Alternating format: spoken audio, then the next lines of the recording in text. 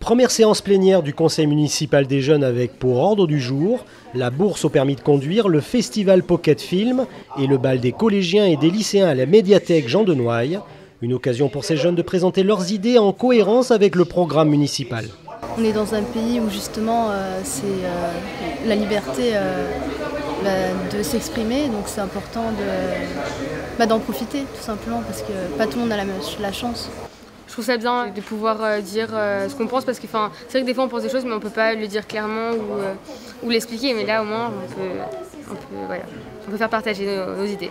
Je suis très très heureux de vous accueillir pour cette nouvelle séance plénière du Conseil municipal jeune, entouré de nombreux de mes collègues du Conseil municipal des vieux. Et c'est dans une atmosphère détendue que ces jeunes conseillers municipaux s'expriment sur leurs nouveaux projets. Non mais c'est assez impressionnant donc... Donc euh, voilà, on s'est tous réunis euh, donc, euh, depuis plusieurs mois maintenant pour voir qu'est-ce qui pourrait plaire donc, aux jeunes de Cannes et on s'est dit pourquoi pas faire une manifestation des talents cannois. Vous avez l'idée est une bonne idée, vous avez des intentions, vous avez des objectifs. Et pour être bon citoyen, il faut avoir des idées, il faut s'engager, il faut comprendre les contraintes. Euh, les contraintes juridiques qui sont lourdes hein, dans un pays très bureaucratique comme le nôtre, hélas, les contraintes financières qui sont aiguës aussi, mais arriver à rendre possible ce qui est nécessaire.